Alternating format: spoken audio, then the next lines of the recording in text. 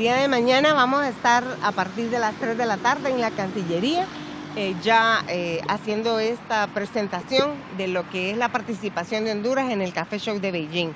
En esta feria, que es una feria especializada para café y cacao, van a asistir no solamente grandes importadores y tostadores de café de China, sino que también van a asistir más de 1.800 representantes de cafetería. ¿Eso qué significa? Eso significa que van a tener los productores hondureños acceso a comercializar directamente con estas cafeterías.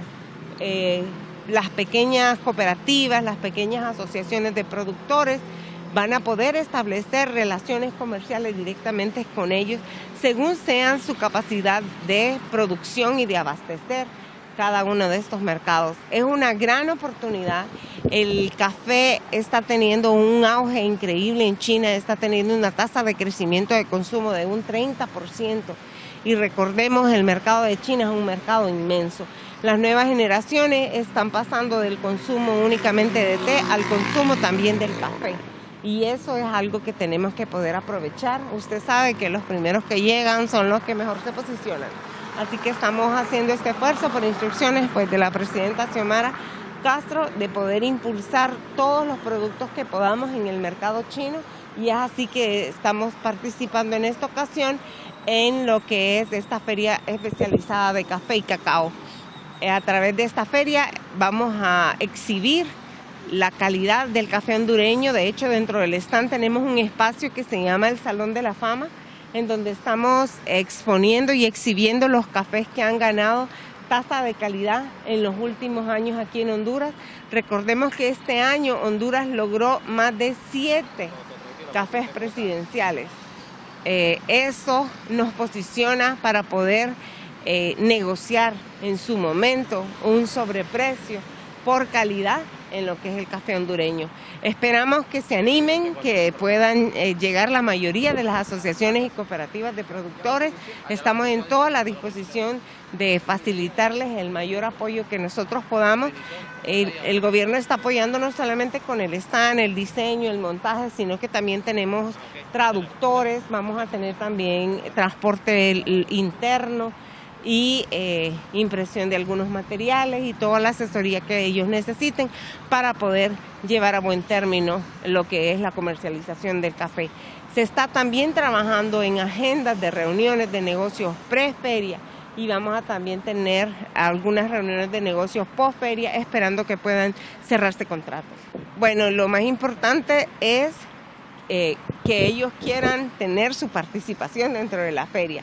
El stand es un stand amplio, el stand es un stand de 18 metros por 6 metros, está sumamente bien posicionado en el centro de la feria, enfrente de donde van a ser las cataciones también.